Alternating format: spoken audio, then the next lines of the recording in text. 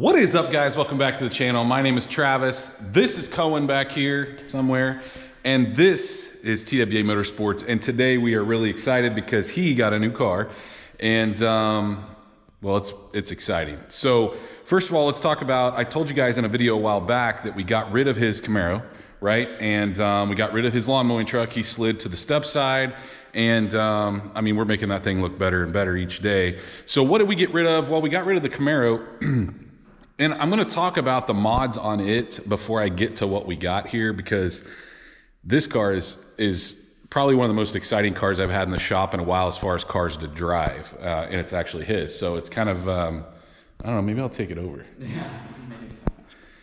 Anyway, so his car obviously came in turbo kit, the Camaro came in with the turbo kit. The motor was bad.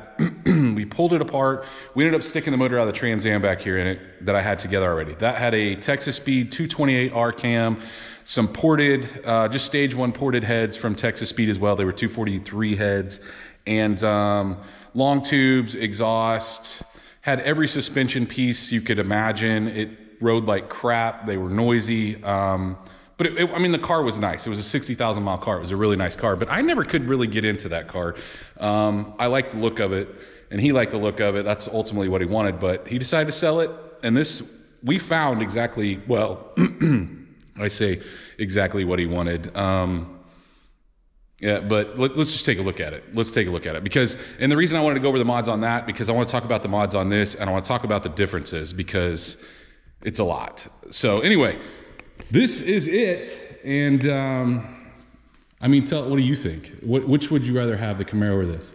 Oh, this. Yeah. This. Okay. Well, I mean, I guess we made a good decision then. Um, look, nothing wrong, like I said, with the Camaro, the way it looked, the way it drove, or anything. It was a solid car.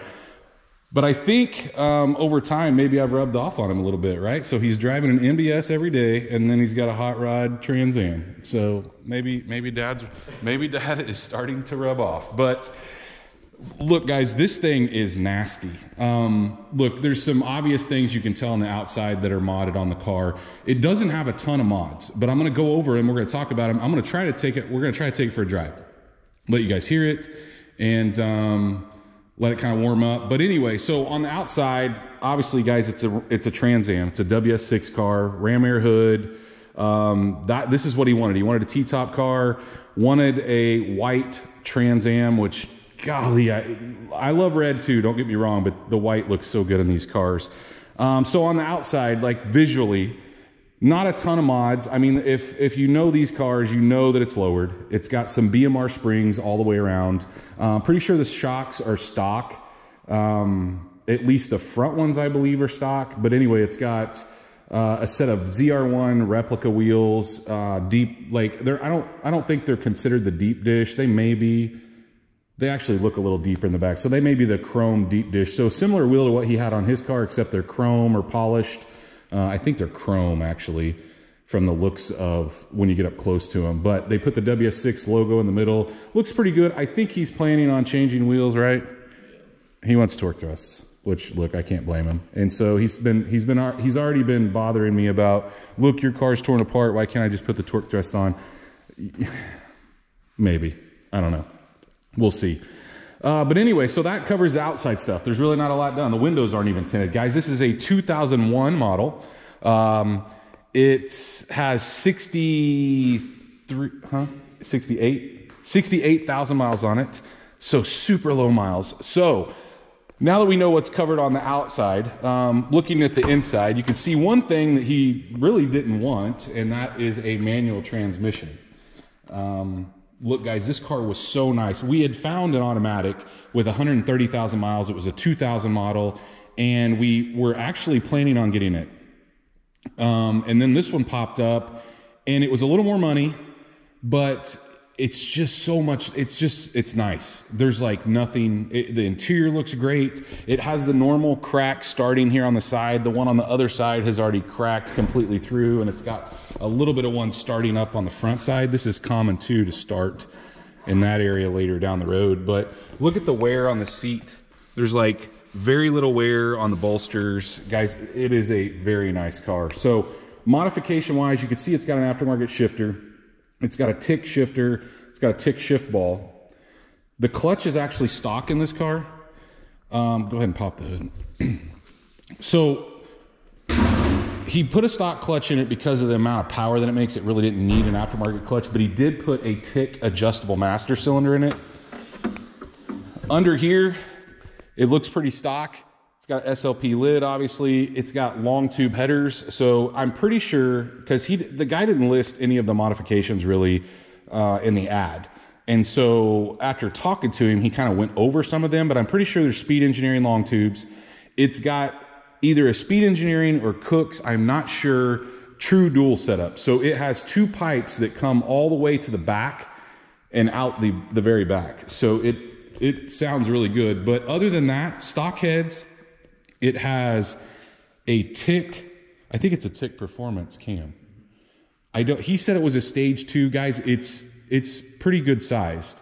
I want to say it's a 231, 236, 609, 602 lift.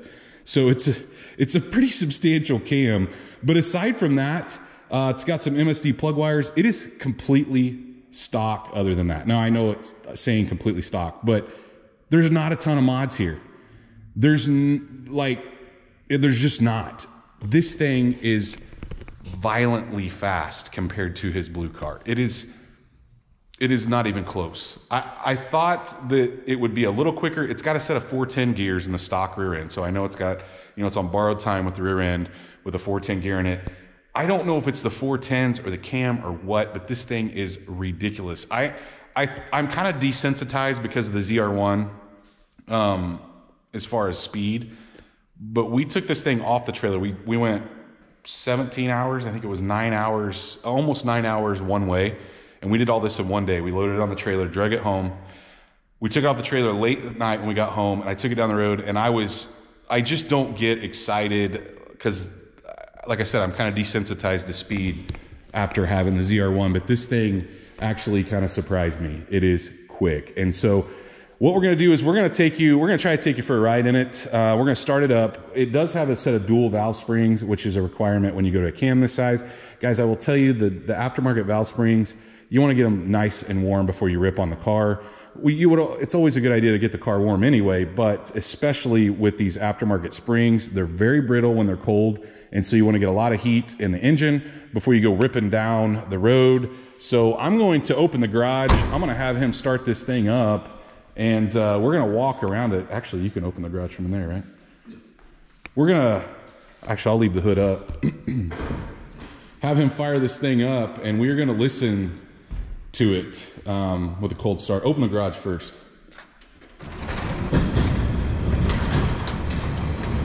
It has a really, really good Lopi idle. So clean. The paint's in great shape. No dents.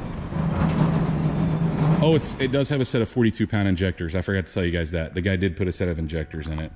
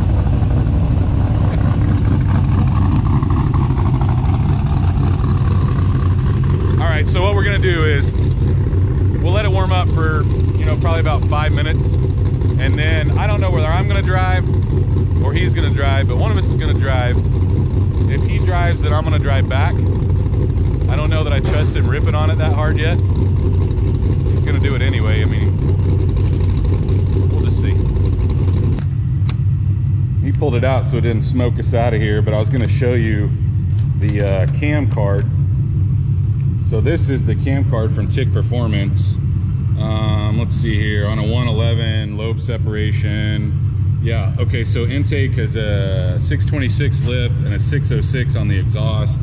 Then duration is 231, 235. And then I don't know why, but he wrote the stock cam size in here so you can see the difference um, a 196 on a and 208 and then the lift was what 464 and 479 on a 115 LSA so pretty substantial difference from a stock cam in one of these things so you know, the cool thing about the 01 and the 02s is they have the LS6 intake. Um, I like the 2000 up models because of the interior color. I like that ebony better than I like the um, like the lighter charcoal color. And then I just, you know, the, the newer the better, in my opinion. I'm not a big fan of the 98s, but, um, you know, looks wise, they all look the same. But the 98 was kind of a one year deal with the gas tank and the gas gauge, and there's, there's just some things I didn't love about it. But uh, let's get this thing warmed up and get on the streets. All right, it's been warming up for a couple minutes now, and we'll go behind it one more time. I just love the idle. We haven't had a car that idled like this here in a while.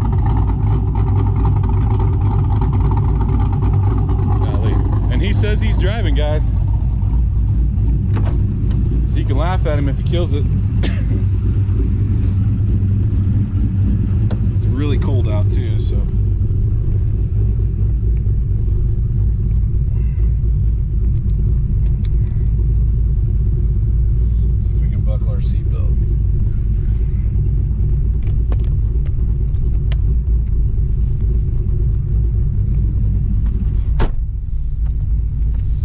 To let the needle get up to almost like, unless it's got a 160 thermostat, which I don't know if this car does. It's pretty cold out, so I like to for the needle to be straight up and down.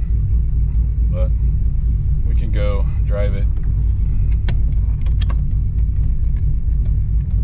The shifter is definitely better than the shifter he had before. I'm not real sure. The the blue car had a aftermarket shifter. I want to say it was an MGW. I want to say. I don't remember, but this one's got a little bit of surge with this size cam.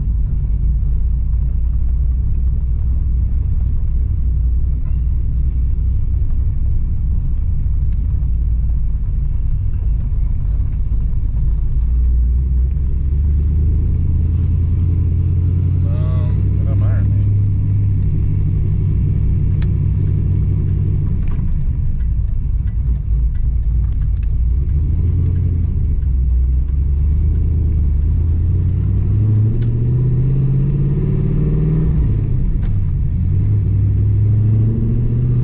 There's no doubt that this is a better looking car. No argument. No cracks in the dash. Interior's in great shape. Back seats look like they've never even been set in. Gotta get some window tints like driving a fishbowl though.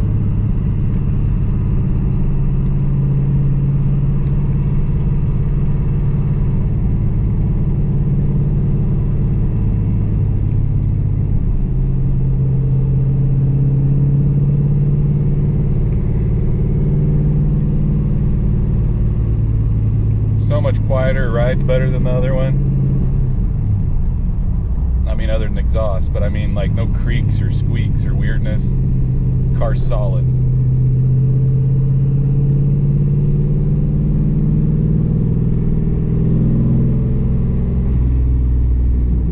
All right, we're gonna find a spot in Mexico and we'll give it a rip here.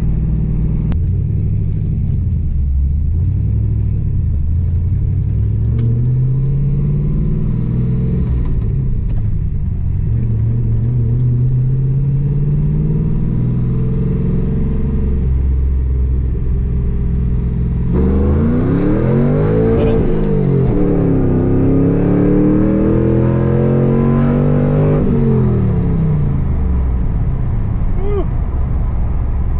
Got his dad nervous over here. I don't like driving with other people. Not when I'm not driving. I didn't mess up. Hit the limiter. I heard it. It's a quick car, guys. It was spinning there, but and it's cold. You need some tires. These tires are they're older and kind of hard.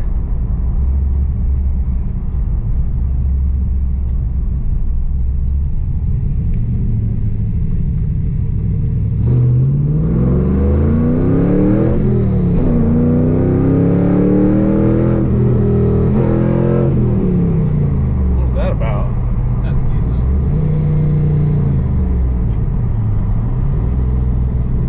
It rips. It's probably a little more car than you need.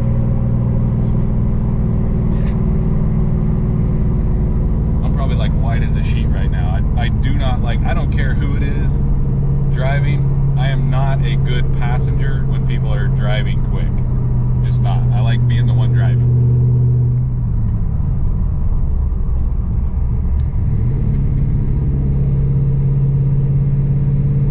Or I like being on a road that's like nice and wide and there's no ditches. So if you screw up, you go off in a field. You don't wreck the car. Let's just roll. Let's just give a roll into first here. Get, get through this and just kind of stab it.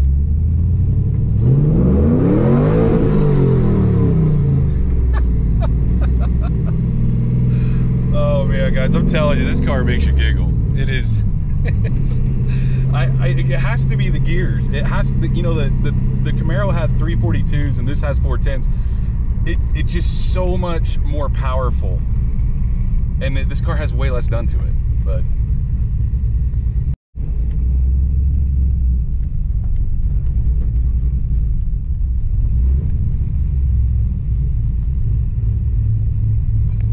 We're alive.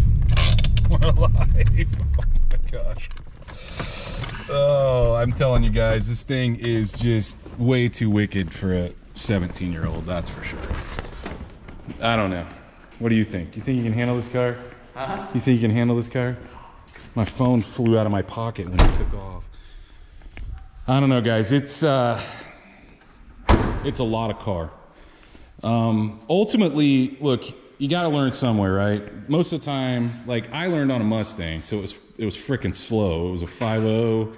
It was terribly slow. I mean, it was a fast for me, but that was my first V8 car, and then I went to an LT car, and it was a little faster, a lot faster actually. And then I got into LS stuff. But the, this car is, I don't know. It's just got there's just something about it with that manual transmission, the gears, the cam. It just it gets it gets loose on the top. You know, it, it's not loose until it gets to like four grand, and then the tires start rolling. But they're about I don't remember what the date code was on them, but it was like 17 or something. So they're you know they're five years old. Ultimately it probably would be a better idea to put like a just a nitto even on the back or a triple eight an r triple eight. Um, but if he's going to get different wheels we may look at that. Uh, you know look the upside to stickier tires is it hooks. The downside is it's heck it's just not as fun to drive. And sometimes the skating around part is kind of the fun part so anyway i mean ultimately guys we don't have a ton of plans right now well i don't he's got a whole list of mods that he wants to do. We've already ordered a radio because he just can't stand the factory monsoon radio. So we're going to put a double DIN in it, which we have a face plate that we were going to put in the Formula and we never did. Uh, he's going to get another radio like we put in the uh, Camaro. So we're going to put a double DIN in it. I think you're going to order some speakers. Oh, oh, it's ordered. Oh, well, there you go. He's ordered some speakers. I think he used Kee Audio. Is that where you ordered? Yeah. We have we never tried Kee Audio, but I have some friends and stuff that have used them, and they said they're really good. Um, they make some F body specific packages, and so we'll just have to see when we when he gets the stuff in what he got. Uh, I don't know if we're gonna do it all at the same time, or we'll do the radio in a video and then the Kee Audio stuff in a different video. Not really sure why you need a radio when the car sounds this wicked, but it's a 17 year old for you. I don't know. I was the same way. Uh, other than that, so window tint. He wants to get some window tint on it. Uh, we got a we got a bad motor uh, on this side. Here, click the button. Pretty common. This pretty much lets you know that you got a bad motor. It's only on this side, so we, we're going to probably address that at some point. Aside from that, it's uh, it's up to him because I am not funding this project, guys. So the radio and all that stuff, this guy's paying for. If he wants to mod it, wheels, tires, he's paying for it. But you know, he's wanting to make kind of a drag car. He kind of wants to go to an automatic down the road. I think we're probably a ways from that. I tried to, you know, I tried to coax him into buying a car that he could enjoy now, buy some parts, and you know, we could knock it out a little bit at a time. So maybe buy a rear end, like a built rear end, uh, save up some money, buy a transmission if he goes to a 4L80.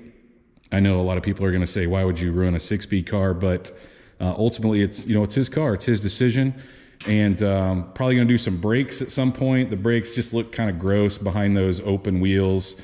Um, he wants to build a turbo car, so you know, I don't know if we're going to try to do the AC, an AC option or if he's going to want to do no AC. Uh, he says he's cool with not having AC since he's got one in his daily driver. So we'll just see. I mean, I know a lot of people are like probably cringing the fact that you would, you know, blow apart a really nice car, but hey, you know, it's it's fun to do. And in my opinion, I'd rather buy a nicer one, like a sixty thousand mile one like this, because it doesn't need paint, it doesn't need interior. If you want to mod it, you can. You don't have to worry about painting it. I, you know, I don't know, guys. I, I mod everything, so stock sucks. To be real honest with you, if you're on this channel looking for stock stuff, other than the the uh, Lamborghini back there, you're probably not going to find it. I think it's running just a hair on the rich side. You can see it's kind of yellowed the bumper. He's going to paint that, do the CETA mod, and we're going to have my painter paint that black.